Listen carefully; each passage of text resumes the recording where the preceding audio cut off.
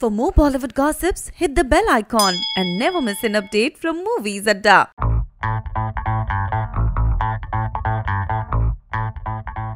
Film Bharat से प्रियंका चोपड़ा की sudden और अनसेरेमोनियस एग्जिट ने सभी को हैरान कर दिया और कई लोग अब इस फ़िल्म के फ्यूचर को लेकर भी स्केप्टिकल थे क्योंकि शूटिंग शुरू होने के पाँच दिन पहले ही फ़िल्म ने इतना बड़ा रोड ब्लॉक फेस किया मगर ये सेटबैक फ़िल्म के लिए एक ब्लेसिंग थी। और इसके बाद ही कटरीना कैफ इस फ़िल्म की लीडिंग लेडी बन गई ऐसे में कई लोग कैट को पीसी का सब्सटीट्यूट कहने लगे। पर हाल ही में एक इंटरव्यू के दौरान प्रोड्यूसर अतुल अग्निहोत्री ने कहा, मुझे लगता है कि कटरीना कैफ मेरे लिए एक लकी चाम है।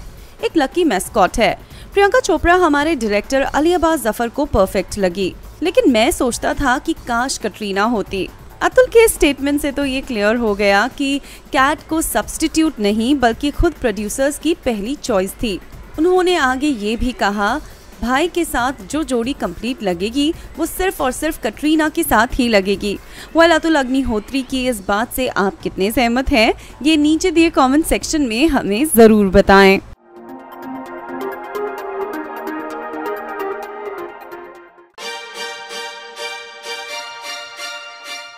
इन दिनों अली अब्बास ज़फ़र अपनी अपकमिंग फ़िल्म भारत को प्रमोट करने में बिज़ी हैं। ऐसे में जब उनसे पूछा गया कि उन्हें सुल्तान का सीक्वल बनाना चाहिए तो वो कहते हैं कि शायद अभी मुझे इस बात के लिए कन्विंस होने में दो या तीन साल लगेंगे फिर उसी इंटरव्यू में उनसे फ़िल्म भारत के चाशनी गाने के बारे में पूछा गया तो अली ने कहा, Chashni is a classic love song कुछ चीज़ों को छेड़ना नहीं चाहिए। लव सॉन्ग सालों से एक तरह से शूट होते थे। वो जब उसी तरह से शूट होते हैं ऑब्वियसली सेटअप और केमिस्ट्री और म्यूज़िक बहुत इम्पोर्टेंट पार्ट है। मेरे हिसाब से लव सॉन्ग की सबसे स्ट्रॉन्ग चीज़ होती है उसकी मेलोडी और एक बार एक खूबसूरत सॉन्ग की मेलोडी आए और आप उसे ब्यूटिफुली शूट करें तो वो एवरग्रीन बन जाता है। अली की ये बात तो बिल्कुल सच है। और फ़िल्म भारत के चाशनी सॉन्ग से तो हम सबको अपना अगला लव बैलेट मिल चुका है है ना?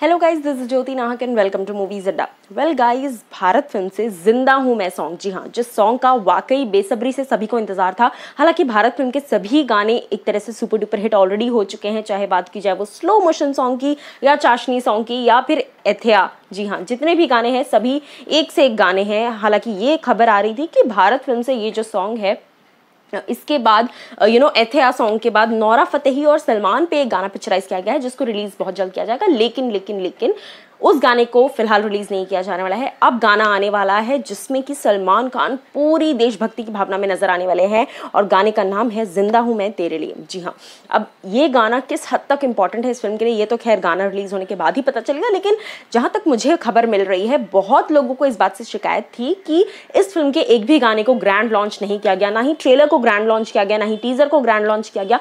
वेल इस चीज़ को लेकर काफ़ी लोगों में शिकायत थी। काफ़ी लोग थोड़ा सा डिसअपॉइंटेड भी फील कर रहे थे कि शायद भाईजान की एक झलक देखने को मिल जाती लेकिन ऐसी खबरें आ रही है सूत्रों के मुताबिक से कि जो लोग वेल पहले तो मैं बता दूँ, जो लोग डिसअपॉइंटेड थे, फटाफट से खुश हो जाओ। क्यों? क्योंकि कल शायद इस फ़िल्म का ग्रैंड सॉन्ग लॉन्च होने वाला है। इस गाने को ग्रैंड लेवल पर लॉन्च करने की ऐसी बात कही जा रही है। अब ये किस हद तक सच है, ये तो खैर भाईजान खुद ही बताएँगे। ये तो खैर कल पता चलेगा, लेकिन अगर फ़िलहाल की मैं बात करूँ तो ये बात सच है कि ये जो सॉन्ग है, ये अपने आप में इस फ़िल्म का बहुत इंपॉर्टेंट कैरेक्टर पोर्ट्रे करते हुए नज़र आएगा। चाहे सलमान खान की बात की जाए, या कटरीना कैफ की, या फिर फ़िल्म के जितने भी कैरेक्टर्स हैं सभी की। वेल आप लोग इस सॉन्ग के लिए कितना ज़्यादा एक्साइटेड हो? प्लीज़ कॉमेंट सेक्शन में जाकर ज़रूर बताओ। और कल वेट कीजिए, जैसे कि अभी तक भारत फ़िल्म भारत फ़िल्म में जितने भी गाने रिलीज़ किए गए हैं सबकी परंपरा रही है। पहले सॉन्ग तो बाद में आता है लेकिन उससे पहले सॉन्ग की एक छोटा सा पोस्टर या फिर एक टीजर आउट ज़रूर होता है। सो वही चीज़ इस गाने के साथ भी हुई है। सबसे पहले एक छोटी सी झलक आई है। अब इंतज़ार है पूरे के पूरे गाने का और सलमान खान का। सो so, आप लोग कितना एक्साइटेड हो? वीडियो के नीचे जाओ और कमेंट्स करके मुझे बताओ और सब्सक्राइब करना मत भूलना। दिस इज़ ज्योति नाहक साइनिंग ऑफ़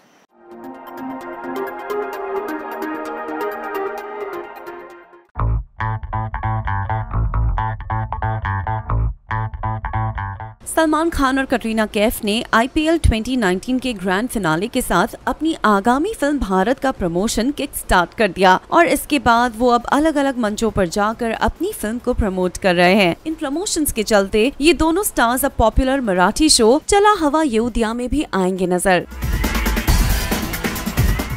थोड़ा हवा योधिया भले ही रीजनल टीवी शो है, लेकिन आजकल इसकी पॉपुलैरिटी को देखते हुए कई सेलिब्रिटीज इस शो पर अपनी फिल्म्स को प्रमोट करते हैं। ऐसे में सलमान और कटरीना को इस पॉपुलर मंच पर देखने के लिए हम सब तो काफ़ी एक्साइटेड हैं। और आप?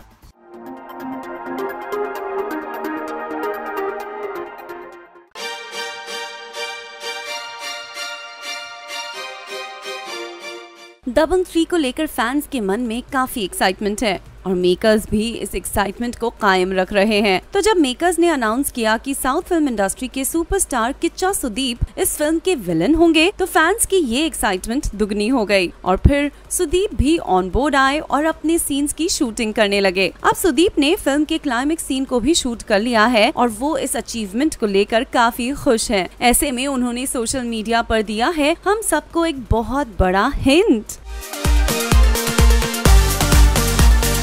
जी हाँ सुदीप ने एक ट्वीट में लिखा climax shoot for Dabangg three has been very hectic Yet a great experience. Huge set and a humongous team. Bare body fight against Salman Khan is the least I had ever thought of doing. Ever. Yeah, I do carry a little confidence today and I'm enjoying it. Well, अब सुदीप के इस tweet से हम सबको ये तो पता चल ही गया कि क्लाइमेक्स सीक्वेंस के फेस ऑफ़ में सलमान खान एक बेयर बॉडी सीन करेंगे और अब इस सीन को देखने के लिए हम सब तो काफ़ी एक्साइटेड हैं और आप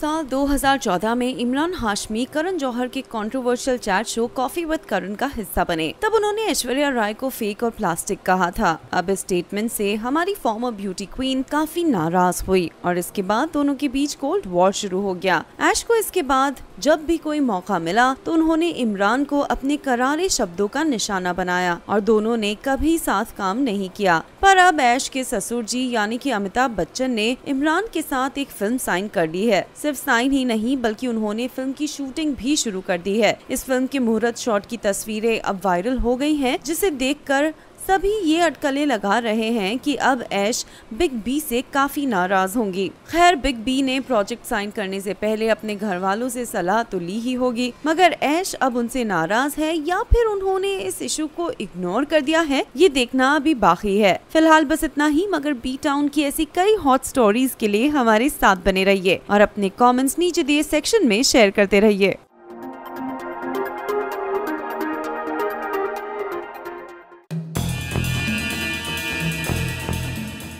दीपिका पादुकोण और उनके एक्स रणबीर कपूर की जोड़ी काफ़ी हिट रही है और फैंस इन दोनों की केमिस्ट्री को बेहद एंजॉय करते हैं।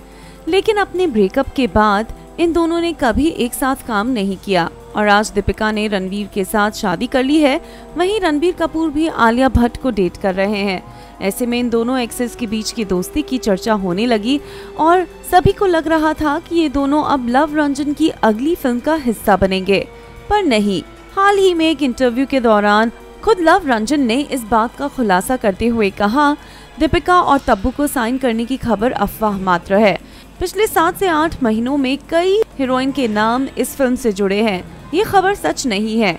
मैंने अब तक किसी को भी फाइनल नहीं किया है। हाँ हम कई लोगों से मिल ज़रूर रहे हैं, लेकिन अब तक कोई भी बात पक्की नहीं हुई है। जब भी हम अपनी फ़िल्म की हीरोइन को फाइनल करेंगे जिस तरह फ़िल्म की घोषणा की गई थी, उसी तरह लीडिंग लेडी के बारे में अनाउंसमेंट करेंगे। तो लव रंजन के स्टेटमेंट को जानकर आपको कैसा लगा, हमें ज़रूर बताएँ।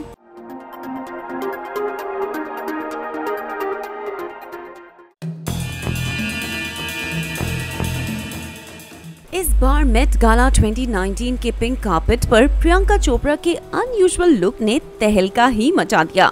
मगर जहाँ उनके बोल्ड एवेटार को कई लोगों ने पसंद किया, वहीं कुछ लोगों ने उन्हें ट्रोल भी किया।